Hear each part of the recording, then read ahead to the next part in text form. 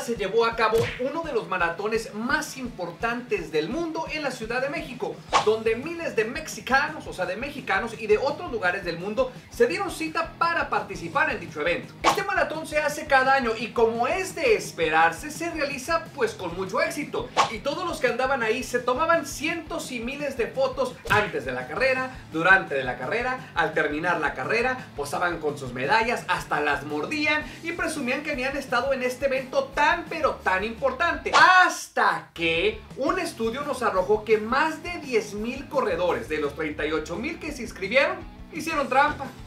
Chingada madre. ¿Cómo los defiendo? ¿Cómo le hago? Se hicieron precisamente de lo que nos catalogan. Tramposos y huevones. Y sí, así fue. Como más de 10.000 corredores no pasaron por los checkpoints o las revisiones que estaban establecidas en ciertos puntos de la carrera. Algunos de estos 10.000 que fueron sorprendidos tomando el camino corto fueron expulsados por las autoridades y otros que a la mera hora mejor no se presentaron y muy temprano en la mañana se fueron por sus taquitos o unas quesadillas con queso o sin queso o cómo es, cómo le dicen por allá.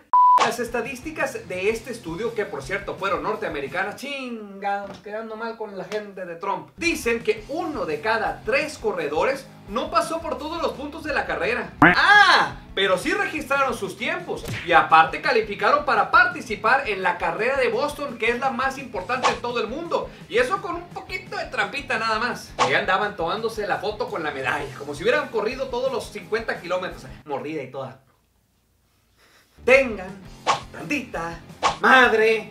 ¿Cómo es posible que en estos tiempos de tanta tecnología todavía podemos pensar, ¿y si recorto el camino? ¿Y si le doy por acá? ¿Y si me detengo antes? Etcétera, etcétera. Y luego llegar en un tiempo récord. Es más, todavía hubo gente más cínica que solamente registró su salida y la llegada de meta. Oye nomás, así nomás de huevos. Esos fueron sus únicos dos registros. Entonces, ¿qué hiciste por estas tres horas? ¿Empezó la carrera y después decidiste irte a aventar unos tacos? ¿O a lo mejor hacer algunos mandados? ¿O te fuiste a dormir o a algún centro comercial? Y ya nada más te acercaste a la recta final, ahí te le emparejaste a la cierta gente y andabas ahí con la lengua de fuera y sudando y las piernas guangas, vendiéndola con madre. Veamos la historia de mi amigo Marco Antonio. ¡Ay, Marco Antonio! ¡Qué hermoso Marco Antonio! Él marcó su salida a las 7 de la mañana y de ahí no marcó en los 5 kilómetros, ni los 10, ni los 15, ni los 20, ni 25, no. Apareció en los 35 kilómetros. Ahí es donde volvió a aparecer y como 10 kilómetros más y se acabó la carrera.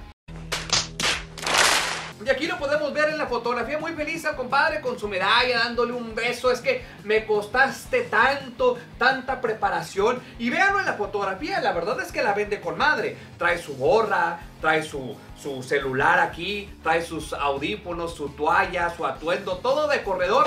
En pocas palabras, el vato traía todo el show vendiéndola toda madre. que hasta todo nos hizo creer que corrió 50 kilómetros en 3 horas. Tengan tantita. ¡Madre! ¡Ya no me...